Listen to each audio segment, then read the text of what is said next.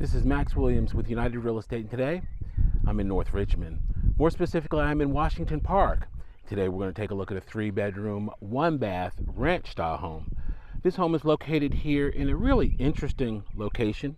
Uh, Washington Park is a north side neighborhood that is pretty unique. Uh, we've got a, a hodgepodge of architectural styles. You can see the house there in the middle of the frame is pretty unique in its styling, and we've got traditional ranch style homes. We've got a few two story homes. We've got brick, stucco, vinyl as far as our exteriors. So, uh, nice diversity here in regard to the house, housing stock. Uh, directly in the middle of the frame on the other side of the bus that's coming this way, uh, I actually sold a home. Uh, we actually had it on video a couple years ago, and the one next to it, uh, the two story home, was actually uh, sold by me as well. Here on the all right, so of all the times for me to pick to do a video, I have to wait until a GRTC bus just comes right in front of me. Uh, that's Murphy's Law, but that's okay. We're going to keep it rolling. Uh, directly in the middle of the frame, uh, that greenhouse you may remember because I actually showed you that home too. Uh, there's a famous French philosopher who once said, I get around. I uh, immediately thought about uh, his words. If you know who that French philosopher was, make sure you go ahead leave it in the comments so uh, everyone else can be brought up to speed as well. Within a couple hundred yards of here, there's new construction going on, uh, at least three homes.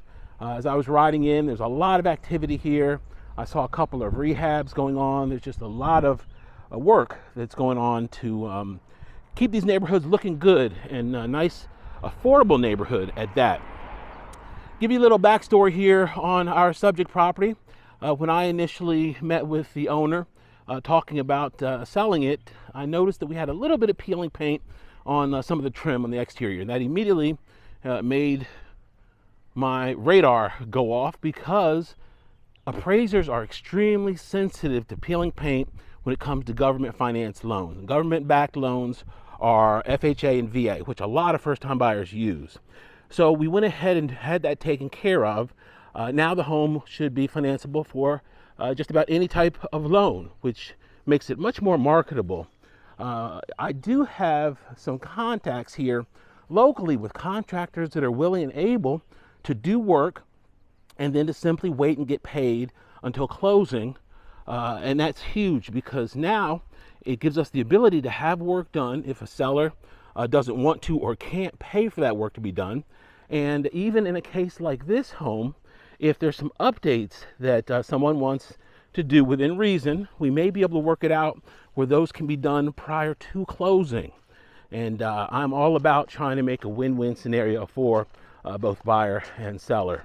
Okay, we can see here we have a completely fenced rear yard, an alleyway going through the back uh, for our sanitation trucks so they can access the properties. And then on the rear, we actually have a storage door.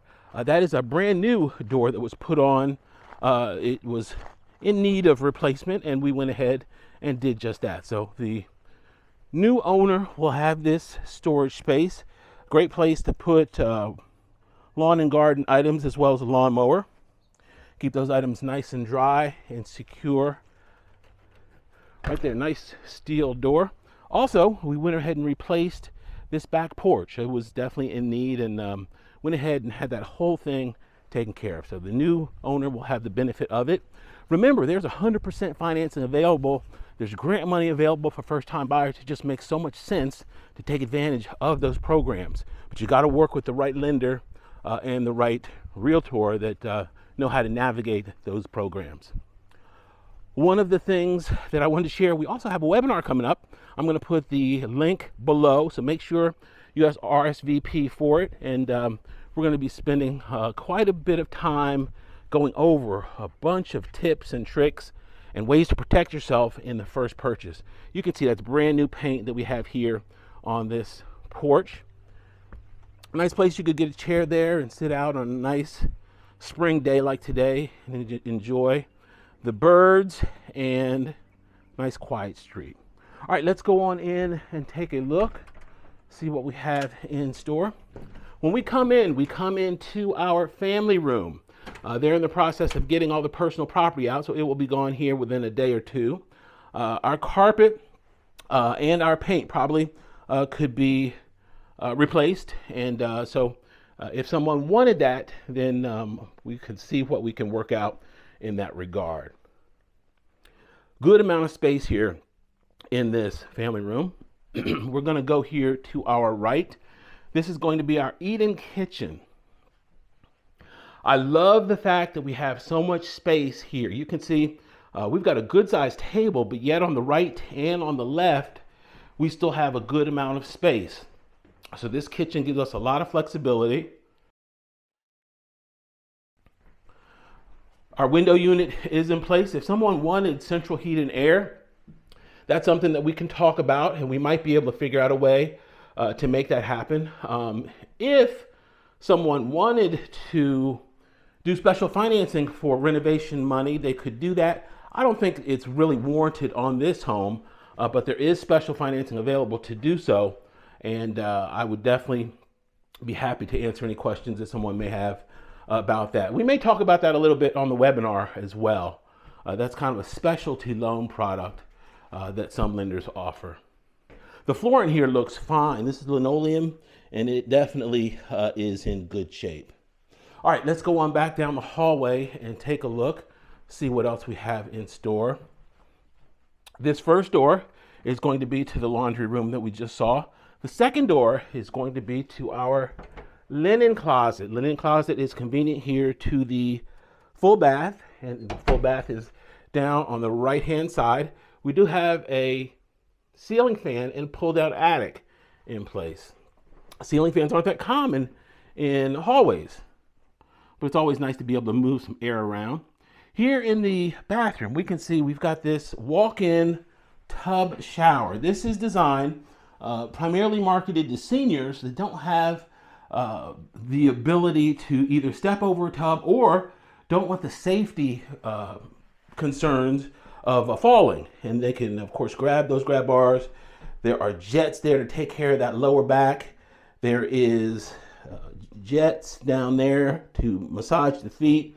And then we have dual shower head technology here to get you nice and clean. So just a lot of uh, cleaning options, a lot of bathing options here in this unit. Uh, somebody didn't want this. Um, uh, I believe uh, there is a market for them. I do know that brand new, they go for quite a bit of money and um, that could be swapped out for uh, potentially a traditional shower or tub shower enclosure.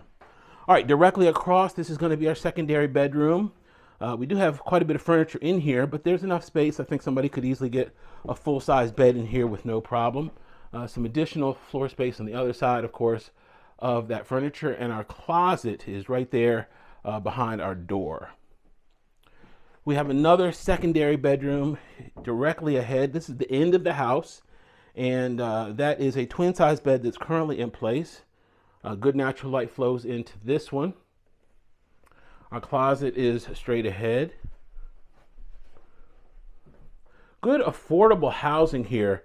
Um, this home does not need a whole lot, so I could see it uh, either being attractive to an owner occupant uh, or an investor. And um, this would definitely uh, be a sound investment here in an area uh, that is really uh, stable and picking up uh, popularity. When builders go in to build new construction, they're not just doing that anywhere. They're doing their due diligence, looking at their numbers, making sure that that new construction that they're going to spend quite a bit of money on is going to sell and is going to be a, very marketable property. So that's always a good sign when you're trying to evaluate uh, where you want to be. If you see new construction going up, that's an amazing sign that uh, you may be in a, a good area. Okay, Walk-in closet, not something we typically see in a home in this size range. This is a big plus.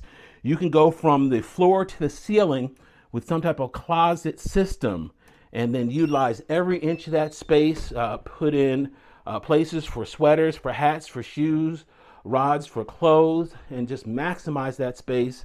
Uh, that's a huge plus in a home like this. If you have any questions about this or any other home in the market, my name is Max Williams. It'd be an honor for me to help.